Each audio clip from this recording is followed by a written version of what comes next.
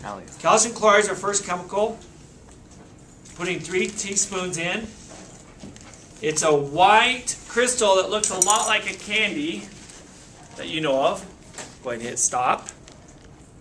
Spin it over here. Phenol red is your next reactant.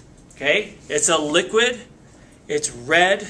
So here's a key thing is it it's in um, in water. It's aqueous state. Okay, so it's not just phenol red. It's phenol red mixed in with water, and that'll be important later. Okay, go ahead and stop. So I'm going to put one teaspoon of baking soda in. I'll, I'll come around and show you guys what it looks like. But it's a fine, fine powder. Okay, good there. Okay, so I have calcium chloride. I put the baking soda right on top. There's no reaction yet. The phenol red's on this side. So what I'm going to undo the phenol red. We got to seal the the bag. So it's a closed system. Okay, and Shazam, give me a whoa. Whoa. Okay, there's evidence of a chemical reaction. I hear, see bubbles. Okay, Schlegel, feel the temperature. Oh wow, it's warm. It's warm, he says.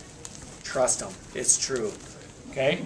You want to feel it? All right, so we definitely have a few things that we want you to write down for evidence of a chemical reaction. We have a yellow precipitate, yellow PPT. Okay, that wasn't there before. It was all white. Okay? We have heat production. It's still warm. Okay? Heat production, evidence of a chemical reaction. Is this in the? Mm-hmm. And the description or evidence of chemical reaction. We had bubbles. Bubbles were formed. Okay? That's evidence of a chemical reaction. Okay? We have color change. The red went to yellow, but that's that yellow precipitate. There's gas. Okay, yep. All right. Go ahead and hit stop.